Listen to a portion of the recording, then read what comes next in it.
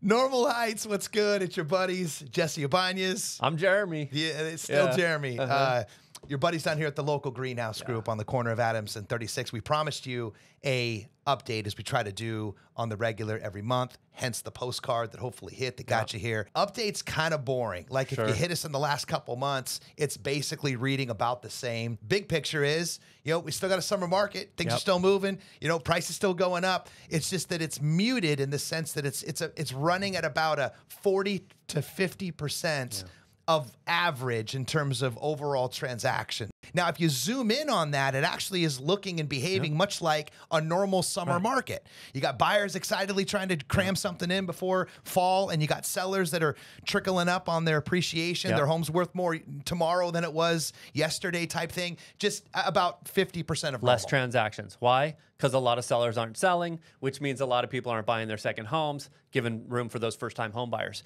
And that's what we're seeing the most of first time home buyers right now. And the first time home buyers, um, there's an old adage like the first thing you ever do is just get a pre approval, right? Everybody knows that. But there's actually something I think you should do before that, and that's do a budget. How fun is that? But, yeah, good. Actually, it's probably more like this. Do it.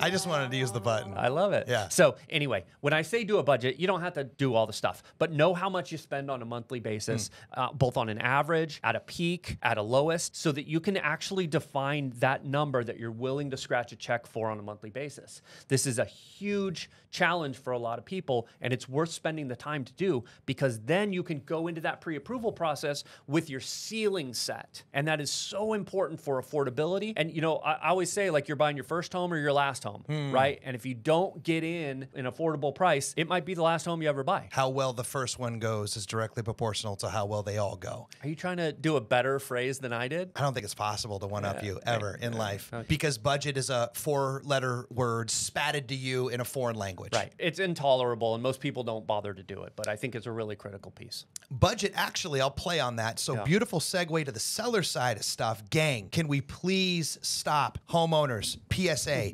just stop paying Home Depots and Lowe's gigantic leases for their warehouses every single month and doing these lovingly dumb Yeah. upgrades that you think are going to move the needle that are just going to end up exhausting your precious resources in advance, not going to sell your home for more, and then you're going to get doubled up with it not moving the product faster because it wasn't No. what the buyer Right. wanted in the first damn place. Right. Okay, so dude, I created a report. I You love happy? it. I actually Yeah. made a PDF. Yeah. It's downloadable, and and I built it on the shoulders. So the the the renovation mafia releases their Mm-hmm. annualized numbers of what's working, what's not. The California Association of Realtors did the same. I smashed them up all together, Yeah. and I got a little report. It's the report that you have to do if you're thinking in earnest about selling. Right. Your best bet is to talk to an agent who really knows this stuff. But Yeah. if you want to try to work autonomously and do this and stuff, just follow this list, please. Yeah. And by the way, I buried in there also the three dumbest things that are guaranteed to make you not have a return. It's like the definitive razor's edge of sunk costs, and I got those in there too. So free report I'll coming bet you I did all three of those on my home. Well, what's interesting is on the inside, number Yeah. one this year, Yeah. replace the flooring. I love that. And or, or redo your hardwood floors. I know you're a big fan of carpet, so that's going to hurt. Right. Shag you. specifically. Older the better. Uh-huh. Right. Actually, you know what the number one was for um, exterior? New roof. Garage door.